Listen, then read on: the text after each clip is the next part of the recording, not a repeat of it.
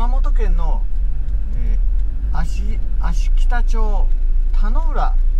というところに、えー、いました。そこに今田野浦という道の駅を出たところ、えー、になります。今曲がったんだけど曲がらないでまっすぐ行ったら無料の高速、えー、日名温泉まで行けたんだけど、えー、これが昔からの道で昔の集落とか。そういうとこ通るので下道へを来ました。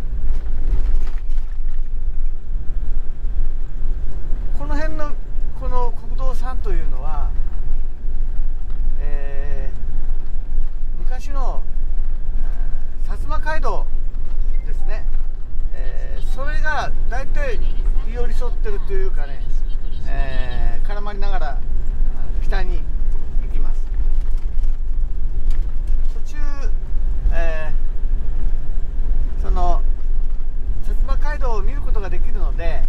えーちょっと歩いてみようと思ってます、えーその道は、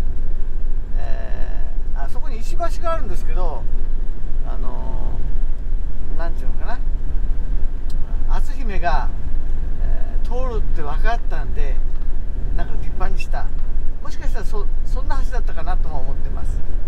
えー、篤姫はカゴに乗っていくわけですけど、えーその通った